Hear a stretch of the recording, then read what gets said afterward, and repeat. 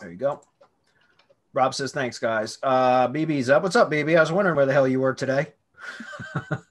uh, he says, hey, guys, after I asked all the external links variations, now it's time for a new wave.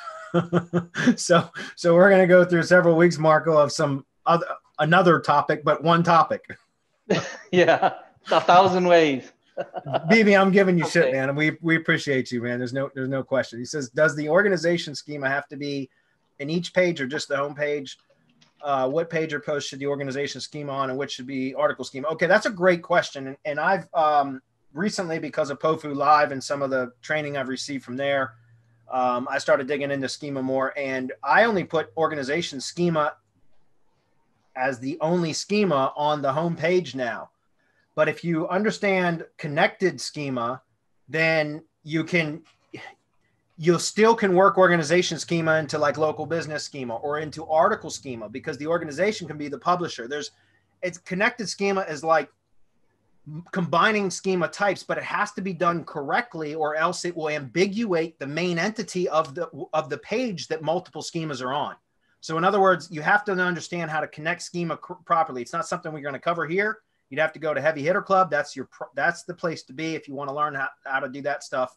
Um, I've I've been learning from Marco and Rob, and also doing some research on my own. And I've just recently begun to understood the idea, the concept of connected schema. And so I was actually doing it wrong for a lot of my own local business sites for the last couple of years because I would put organization schema site wide, and then on location pages I would have local business schema also but that actually ambiguates the main entity of that particular page unless you combine them into connected schema and then you designate the main entity of the page or you can ref local like for example local business schema can be the primary schema for a location page but it can reference the overall parent organization. Same thing for article schema. Article schema is going the the, the, the primary entity of the page is the article itself right but then you can reference the publisher as an organization, for example, or even the author could be an organization, and that can pull in all of your organization schema with your same as attributes and everything else. It, you have to learn how to put that together properly, and I didn't know how to do that until after I went through POFU Live and I got to watch some of our speakers. Which, by the way, you can buy POFU Live recordings right now. so if you want to get a really good uh, base training for what connected schema is and how you can develop this kind of stuff out um, go get the POFU live recordings.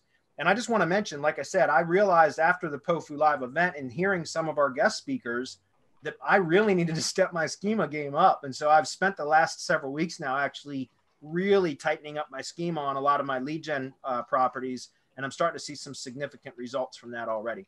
But as so organization schema can go on all the pages if it's nested within the other schema properly. Otherwise, just put it on your homepage or your about page or both. It can be on both of those even. But for everything else, I would have the main entity of the page have that only per- schema on that particular page only, unless you're using connected schema. So essentially nested schema where it would reference organization schema. Hopefully that didn't confuse a lot of people. Mark, do you want to comment on that before I move on? Parent, child, child, parent. You can have organization either on the home page or on the about page. Don't make it both if you're going to do that. I prefer it on the home page. Me too that's where the bot will generally come in and go through the rest of your website. So that's what I like. Uh, as far as everything else, I, I mean, no, yeah, don't ambiguate. You're in big trouble, man. Yeah. Yeah, and that's the thing. Like if you have multiple schemas on a page and they're not, you can actually main entity of page. That's a that's an attribute. That's a type that you can designate so that you can specify which one it is. But if you're using connected schema or like you said, parent child, nested schema is another term for it, um, then it, it, it should validate correctly anyways. But um, yeah, it's, it's interesting, man. I didn't realize how much I was missing in the structured data world until we had the POFU Live event. Now that was my main takeaway. And I've told that to everybody. I was like, my main takeaway was I need to step my schema game up. And so I spent, and I, am still just scratching the surface. Uh, Rob and, and Marco and Heavy Hitter Clubs, where you want to go for all of that stuff, guys. There's no question. It's what we're teaching on Heavy Hitter, man. Yep.